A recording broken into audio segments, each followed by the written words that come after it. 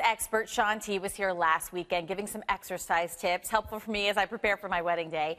Well, he definitely challenged me to take it up a notch, but he also stressed that what I eat is just as important. So here are some other tips.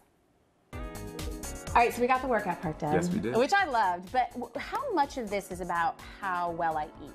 You eat extremely well. Your portions are spaced out perfectly. And I would love to talk about the foods that you eat and maybe some things that you might want to change just okay. a little bit to okay. cinch it in for the wedding. One thing I love about your breakfast is that avocado is the perfect kind of fat.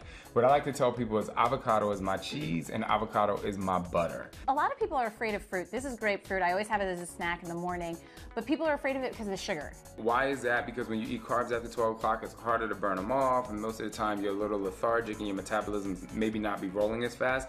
So eat fruits before 12 o'clock and you will be okay. You have the time to burn it off. Before a workout, it's always important to eat, and I never have thought of this. A sweet potato I wouldn't have thought as a snack. Right, so a lot of people take pre-workout drinks or pre-workout energy things, and that's totally fine. But if you want to keep it natural and eat some really good food, because I always think food is the perfect fuel. So what you need to do, make a sweet potato, cut it in half or chop it up, add some agave to it, eat half of it before your workout. It's a great pre-workout formula. And then eat half of it after you work out because it's a great recovery formula. And one of the main reasons you eat it after is because it's really good to help with inflammation. So not that you're injured or whatever, but whenever you work out, your body kind of inflames. It has a lot, your muscles start to tighten up a little bit and it's really good for that. And why the agave? The agave, because number one, it's good. It's, it's good. It's better, it's better than like the sugar and the butter and the cinnamon. Mm. It's a, it's just a healthier option. I feel like this would be a good dinner side too. So that's another great thing. If you want to have a carb at dinner, one of the other, and we, I know you have your carb that you like to eat, but this is also a really good carb to eat at dinner.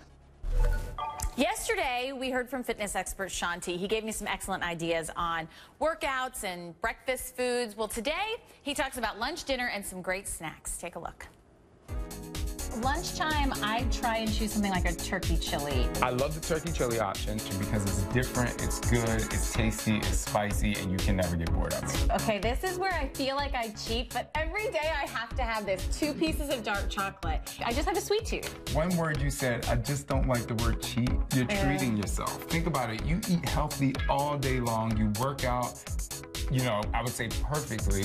And so if you want to have some dark chocolate, I mean, you know, just have a piece. Snap peas. This is my go-to salty snack because it's just crunchy. It satisfies the craving. Right. It's salty and it like feels good on the tongue. I know what you're talking about. It's like Ladies chips to me. I was so happy when I found out that she ate that because I eat it too. Um, it's really good. A craving for me is oftentimes with dinner pasta. Okay. I'm Italian. I just like it. So yes. I tried to switch it up. I I, I do like a quinoa pasta. Is okay. that the same as quinoa? It has quinoa in it, but another sort of pasta you can eat that I like to say, one of my favorites is spaghetti squash. And you can make some spaghetti sauce, and you can take some of your leftover chili and add it, add it as a sauce, and it's really good, it's really healthy, and it's much less calories for you. First of all, I want to say you're doing everything great, but these small changes will get you to that five pound weight loss. And if there's people out there who aren't doing this at all, eat five meals a day, eat small portions, set your alarm so that you know when to eat because that's going to kick up your metabolism. And if you work out like she does, you will definitely get the results. And it was a lot of fun too. Awesome. Thank, Thank you. you. Thank you very much. we did have so much fun together, and I actually took a lot of his advice uh, and tried out some new things as well. So you can head over to our Facebook page, Weekend Express HLN, and check out sort of the meal plan and some of the ideas that he had for breakfast, lunch, dinner, and some snacks. Eat five times. How can you not like that?